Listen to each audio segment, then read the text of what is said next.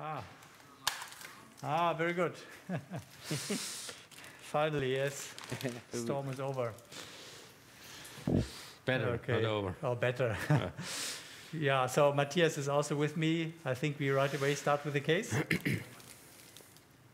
Yes. Okay, yes, calcified occlusion, right uh, popliteal artery. Next slide shows you the clinical data. PAOD Rutherford 3, claudication 50 meters, uh, right side. ABI is 0.5. Already intervention of the left uh, common iliac artery. And uh, next slide.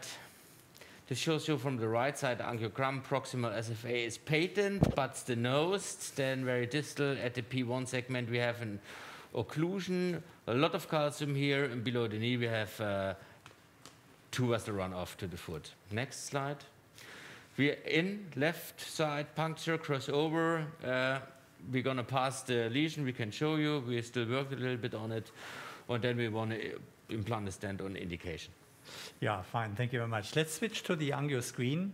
Uh, we have waited a little bit for you, um, but then finally uh, started. Well, of course, going crossover for this lesion is maybe not the directest way. However, he has some SFA disease additionally, um, also some uh, stenosis of the common femoral artery. Not, I mean, dramatic, but 50% and very calcified, so maybe not very nice to puncture in. So therefore, we choose crossover, which uh, turned out to be not so easy. As you see here, this is a 7 French 55 centimeter sheath and I could bring it over the bifurcation, but not further down than this here. It was just stuck. And therefore, we, we uh, used a trick which is um, actually quite nice if you have some calcium in the SFA. So we took a balloon down. This is a 6 by 40 and we will here's some kind of stenosis which we want to treat anyway. And here we anchored that balloon here. So we inflated this here. And now we had an anchor, and uh, now we could um, um, Pull the sheath. pull the sheath here with this anchor very easily here uh, over the bifurcation into the SFA. Yeah, so this is how the case started here. And here you can see the lesion now.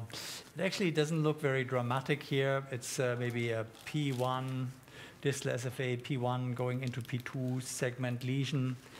In fact, there's some retrograde filling here, high offspring of the antertibal, but it looks a little bit quite calcified, I must say. We were wondering here whether there may be also some thrombus in. As you can see, that proximal, this uh, looks a little bit like throm- thrombus on top. Uh, outflow is okay over the anterior. Uh, posterior is missing, and also plantar branches are not really there. Yeah, so um, well, in this case, we really so we started here to take wire in, and uh, very soon saw that that actually is not so easy. So the hope was there that there's some thrombus, there's a remaining channel, but no, we had to go um, past here, that plug here. Um, so we couldn't go really through that plug, but we had to go here around that plug. But our command 18 didn't work. We started to use a stiff terumo straight to hammer here on that lesion.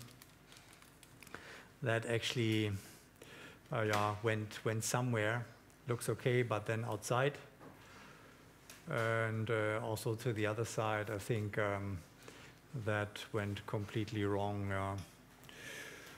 Uh, yeah, so then, then we started here to use a CTO wire. So this is the command 250T. This is now our preferred wire for this um, cases. And uh, with uh, some drilling, um, it went here into the channel.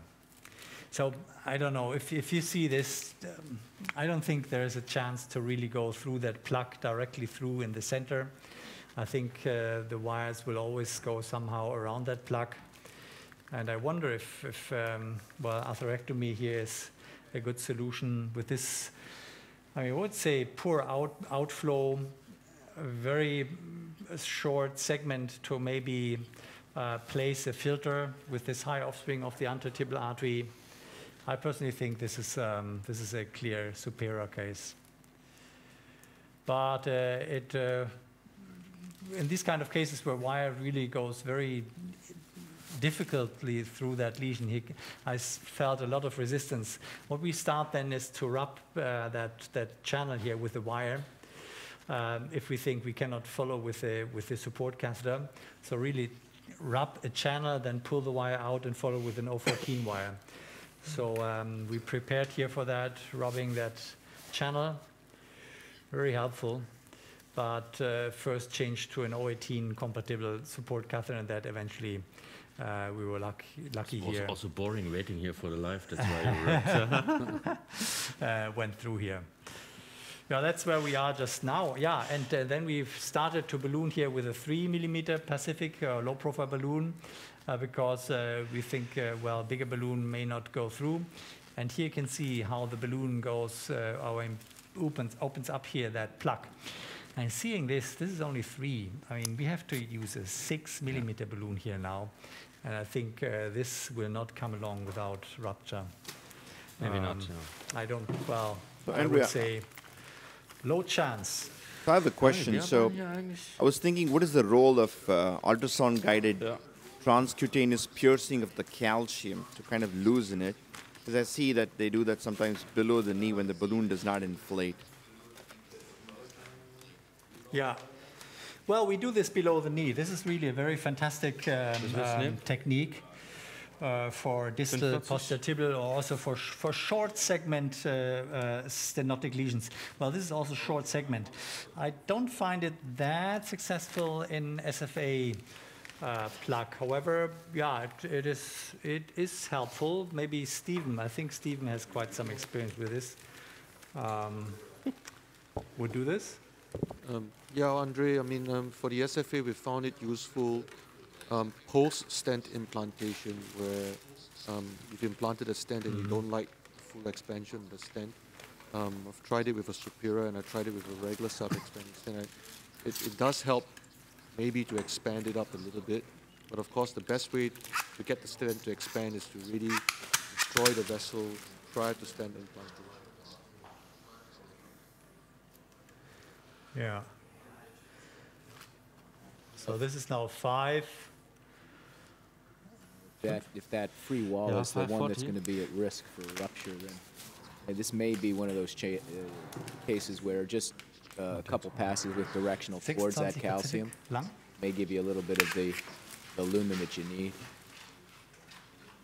Would, would, would shockwave be something Okay, that uh, you would consider in a case like that if you think that it's, um, it's limited space for you to expand in a subintimal plane?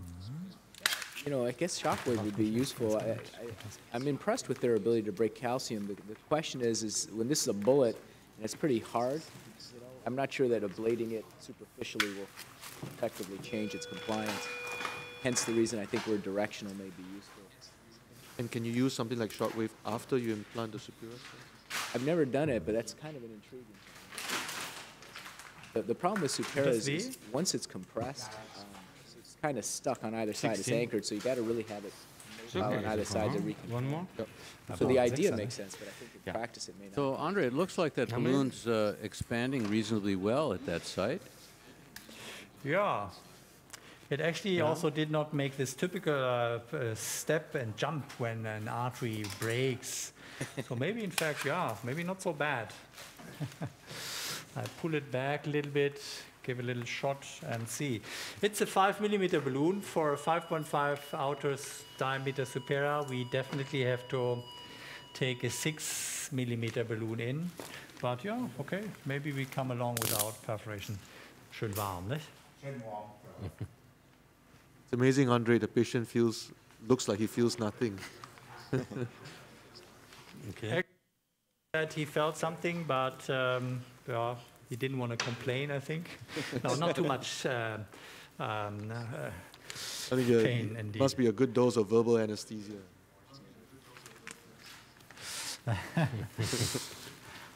hello.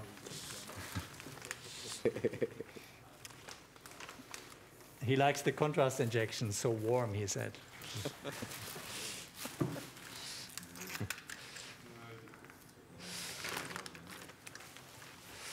Okay, so this is now a 620 for more focal uh, destruction and ballooning of the plaque.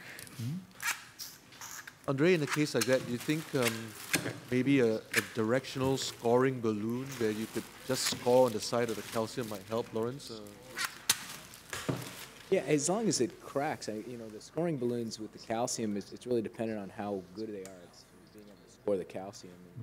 In many cases, if it's superficial, like this is relatively superficial, I think it would work. The deeper wall calcium, I don't think works very well. how about something that cuts on one side only? Obviously, you don't want to cut on a subintimal side. Mehr? But As long as you can tell where that side is, hoch- or Pardon. Uh, is, Warte kurz, meine 18. Aufnahme. Ist nicht gut genug, nicht? Ähm, sieben? a little Das resistant ist schon there. ganz schön groß, ne? Sieben? Sieben? Ja.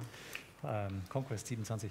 Yeah, balloon doesn't fully open. Uh, Pacific uh, 620 at 18 atmospheres. Probably now uh, you see this dog bone even in a short balloon. Um, probably not good enough to, to take a 6.5 Supera now in. Okay. Um, okay, For 6.5 not, no. no. Okay. So we ordered the 720 Conquest.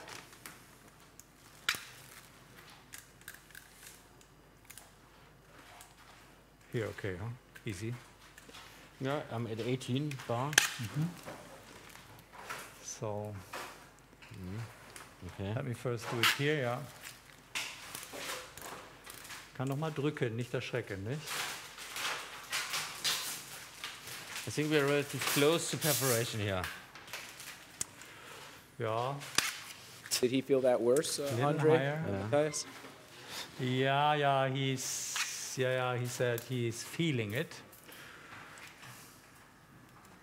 Hm, drück noch mal ein bisschen, nicht? Ja. Mm, okay. yeah. Okay. Now that was painful. Shall I check? Yeah, please. First check before we start to take the Supera in. Yeah. Mm-hmm.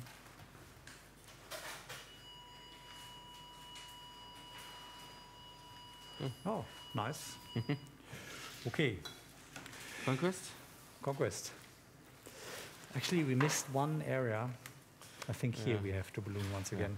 We- If you go with Okay, I think proximal here in this area we are happy, but distal we should um, crack it a little more. What do you think? Yeah. Yeah. I think it's so important to take your time for preparation. Oh yeah, okay. Yeah, I've come across this when I've been doing cases, so I'm just going to ask this question to the panel. Say you balloon it, you do this, it doesn't open up. What do you guys think about putting a short Viabahn and going in really high inflation so you have a controlled rupture?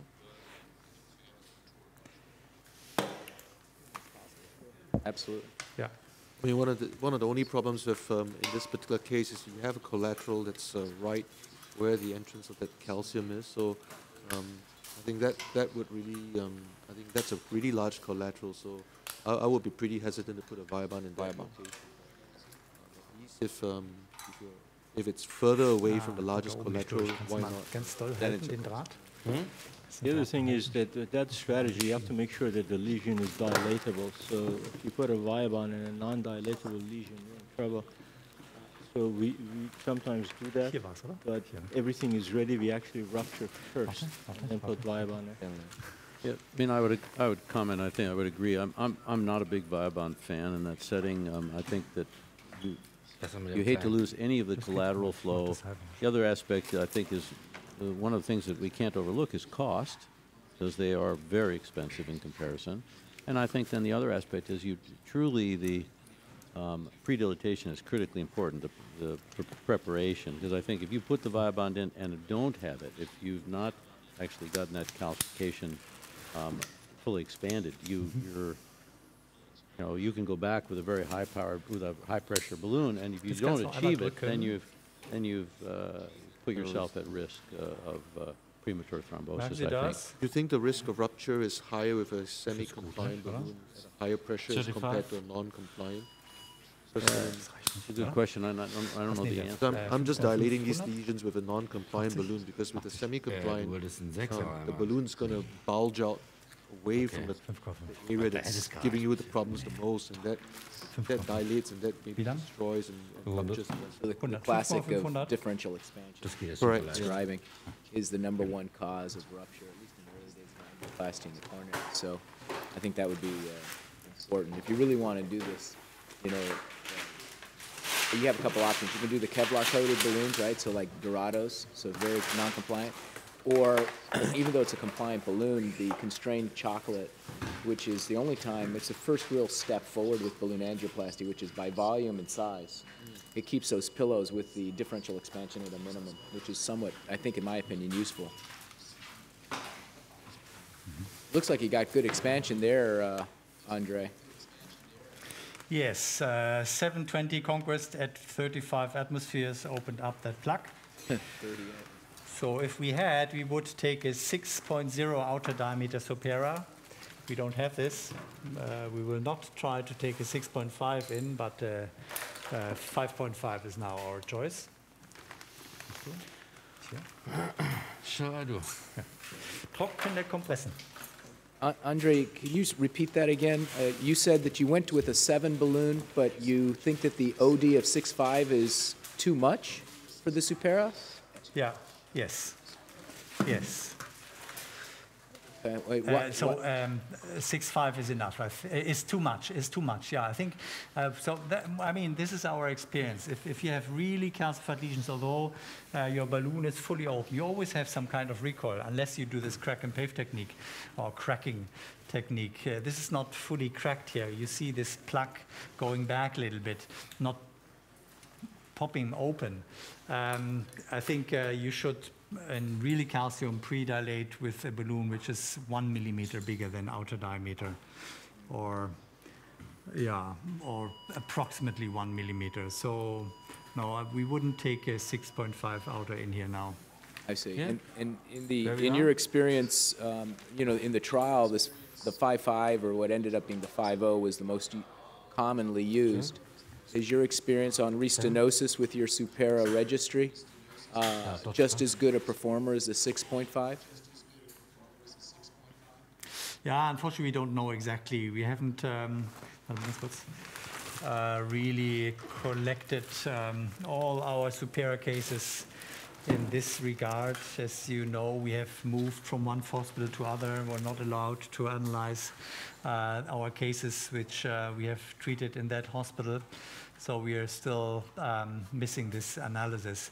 I can only say in this crack and pave registry, which we have done, um, we have done, uh, we have implanted uh, more than half of the Superas bigger than 5.5. So most of, most of them were 6.5, some were even 7.5. And the patency in these long, really long and difficult lesions was 80% at two years. So maybe bigger is, is better here.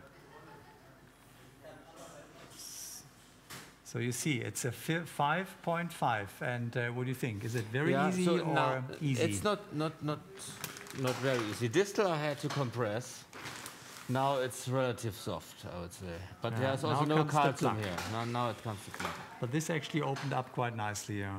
So, you know, in And the deployment for the also Supera, if you can see those, But now, if you can see those ribs, then that's a good deployment. The cell design is nice. They're not getting straight lines. So it's not elongated. And then if it turns into dots like at the bottom of the screen, then that's the compressed uh, zone. That's a pretty good deployment. Yeah. So this is uh, Matthias' technique. So he, he takes some struts out of the delivery system, but then pushes the whole deliver, delivery system to, to pack the struts. is this And as you can see, I mean, six millimeter fully open, but not so easy. Yeah, a little bit work here, but now it's getting soft again. And that Okay. balloon was semi-compliant, uh, was 6.0 at nominal. And here we didn't predilate that much. Uh, So, Andre, comment on some of these patients in which you've placed these Supera stents and then have had follow-up, uh, you know, six months, a year, two years later. What, what do the stents look like? Do they do they even out? Is there do they retain the packed uh, appearance? Uh, not all of them. I mean, so if, if you have some, some areas of elongation or packing, Um, in lesions which are not too calcified, then yes. But if you have severely calcified ones, even those shorter areas actually do not nicely even out all the time. Some, I mean, if you're really not able to, to open up the stent in a half a centimeter long calcific lesion, it will not become better over time.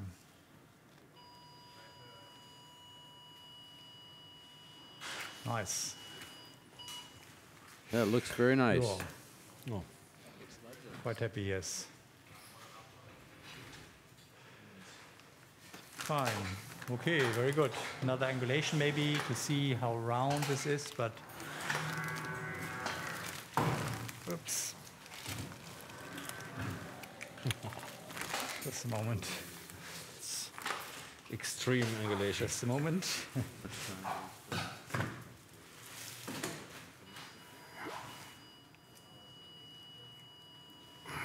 yeah, very nice. Looks lovely. Okay.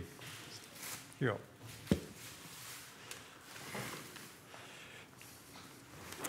And yeah, I mean, there's there's no con- no contrast between stent and, and arterial wall. So No. even though we had a seven millimeter balloon and this 5.5 Supera, no gap there. Okay. All Yeah, happy with this case. Very nice. We should give uh, Andrea a round of applause.